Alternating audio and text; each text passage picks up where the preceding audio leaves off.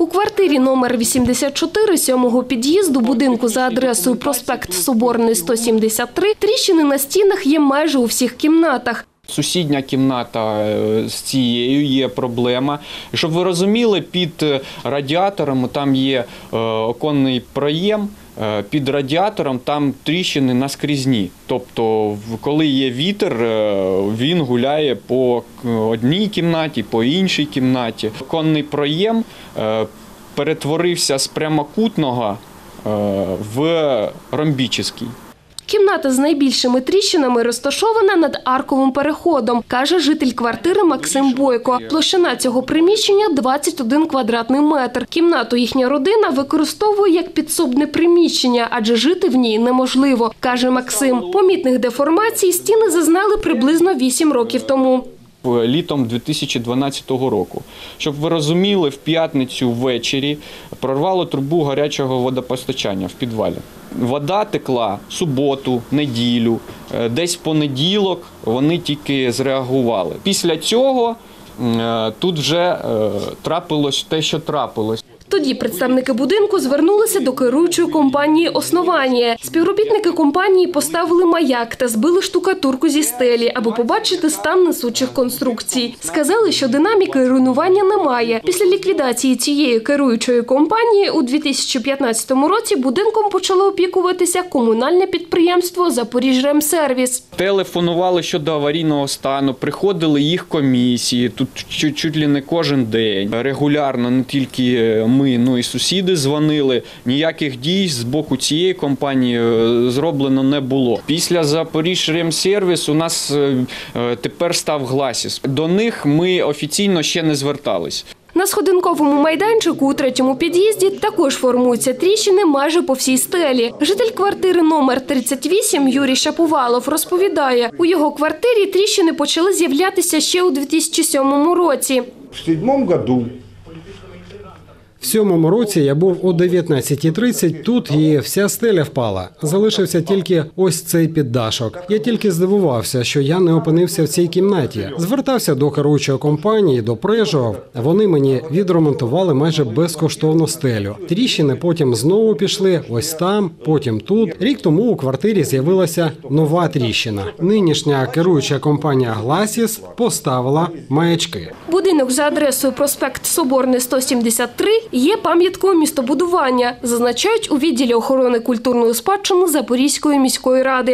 Даний об'єкт пам'яткою містобудування, занесеною до реєстру. Можна проводити ремонтні роботи, реставраційні роботи. Відповідальність за утримання пам'ятки несуть власники та утримувачі пам'ятки. У випадку, якщо там є керуюча компанія, то так вона є відповідальною за проведення ремонтних робіт. За коментарем щодо нинішнього стану будинку та необхідності ремонту у ньому, журналісти Суспільного звернулися до керуючої компанії «Гласіс». На момент передачи дома мы получили от На момент передачі будинку отримали від Запоріжремсервісу дефектний акт, в якому було вказано відносно стін тільки те, що необхідний ремонт 40 квадратних метрів цоколю та 10 квадратних метрів балконних плит. Ми зробили обстеження будинку та встановили фактичний стан тріщин та приблизний термін їх існування. Що стосується проведення капітального ремонту на сьогоднішній день, згідно закону про право здійснення власності в багатоквартирних будинках, в якому чітко прописано все майно житлово багатоквартирного будинку, підвали, стіни тощо, все це є власністю спільного співвласників будинку. Співвласники несуть повну відповідальність за утримання будинку, за проведення в ньому капітальних ремонтів.